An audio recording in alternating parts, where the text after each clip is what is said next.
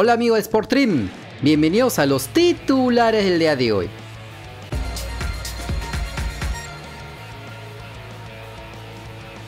Por la jornada 23 de la Liga Smartbank, el Fuenlabrada de su aún jugador Aldair Fuentes perdió por 2 a 1 en su visita al Girón. El volante nacional estuvo en el banco de suplentes y para la sorpresa de nadie, no ingresó en todo el encuentro y si bien jugó el 2 de enero en la derrota frente al Ibiza, desde que se supo del interés de Alianza Lima, siguen convocándolo, pero no lo toman en cuenta como en casi toda la temporada, donde solo disputó 8 partidos.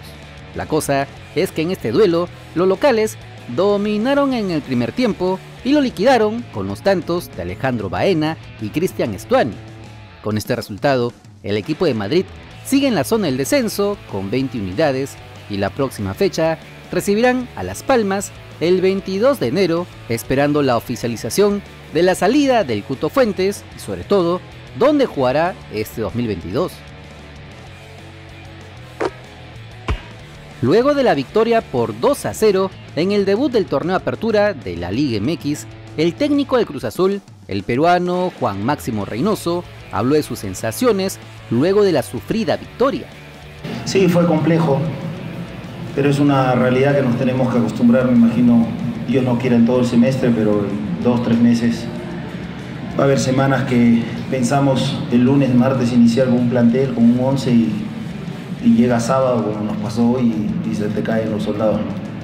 Pero bueno, los muchachos hicieron un esfuerzo eh, bastante grande, muchos no, no habíamos podido trabajar automatismos y se han ido integrando a pocos. Por eso tiene doble mérito y también por eso nos costó los primeros 25 minutos. Este, pero bueno, nos quedamos con, con el premio de la victoria y sabiendo que hay muchas cosas por mejorar.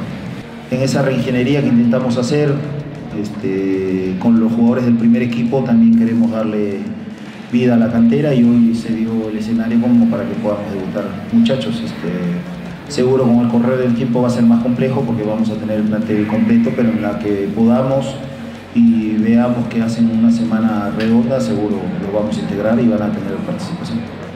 Reitero, nos quedamos más con el esfuerzo, el compromiso de los muchachos y sabiendo que hay muchas cosas por mejorar. El gerente del Cienciano, Héctor Quintanilla, habló de la suspensión de la tarde del papá dando alguna esperanza a los hinchas cusqueños. Además se refirió al plantel del equipo imperial para esta temporada. Nosotros como respetuosos de la ley, como corresponde, entendiendo que la salud está de todo, y haciéndole un seguimiento pues a toda la organización que, que teníamos para presentarnos nosotros ante nuestro público no se pudo dar por esta vez. Creemos de que y esperemos que la tercera ola pase rápido, pueda ceder y estemos en los tiempos adecuados para presentarnos como lo habíamos pensado.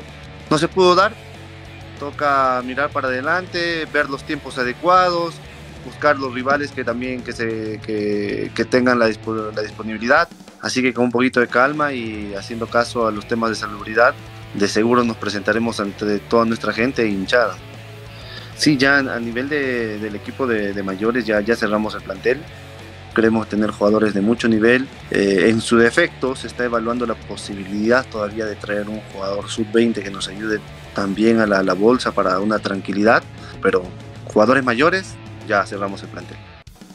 Sí, a mí me parece en relación a, al pedido de otro directivo muy mezquino, su forma de pensar, este, queriendo, queriendo y llevarlo a Lima, yo creo que es un tema de, disculpen el término, pero siento que es un tema de viveza en los equipos capitalinos, ellos siempre juegan de locales, siempre juegan en casa, siempre juegan con todas sus ventajas, nosotros nos tenemos que acomodar, mm, no tenemos el plus de nuestra altura, no tenemos nuestra gente, y de seguro cuando baje la ola, si nos fuéramos a Lima, eh, se jugaría hasta con hinchas, con lo cual nosotros ni tendríamos.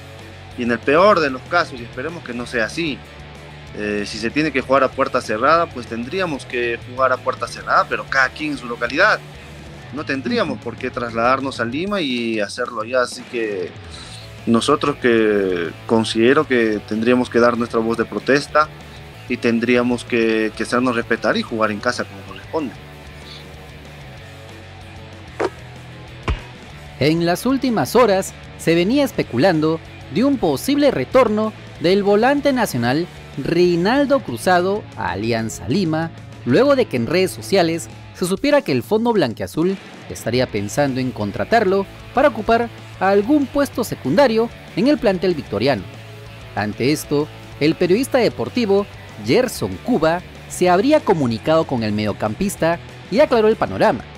Sobre un posible retorno de Rinaldo Cruzado a Alianza Lima, me informan que no ha habido ningún llamado del cuadro íntimo por el jugador, ni como embajador. El jugador sigue disfrutando de sus vacaciones, comentó el periodista en su cuenta de Twitter. El futbolista de 37 años de edad, la temporada pasada, estuvo en el Alianza Atlético de Sullana, donde logró disputar 20 partidos, anotando un gol y dando 3 asistencias para ayudar al equipo Churre a mantener la categoría. En Alianza Lima, Rinaldo Cruzado estuvo en 6 temporadas, saliendo campeón en 4 de ellas, siendo de los más ganadores, aunque esto al hinchada blanca-azul poco y nada le interesa y esperan algún otro refuerzo para hacer una buena Copa Libertadores y buscar el bicampeonato nacional. La selección peruana de fútbol disputará un partido de práctica ante un equipo de los mejores futbolistas extranjeros que disputarán la Liga 1 Betson 2022 y que será dirigido por Carlos Bustos, entrenador de Alianza Lima. La Federación Peruana anunció que este duelo amistoso se jugará este miércoles 12 de enero en el complejo de la Videna durante el horario de entrenamiento de la selección peruana y servirá como preparación para los amistosos ante Panamá y Jamaica.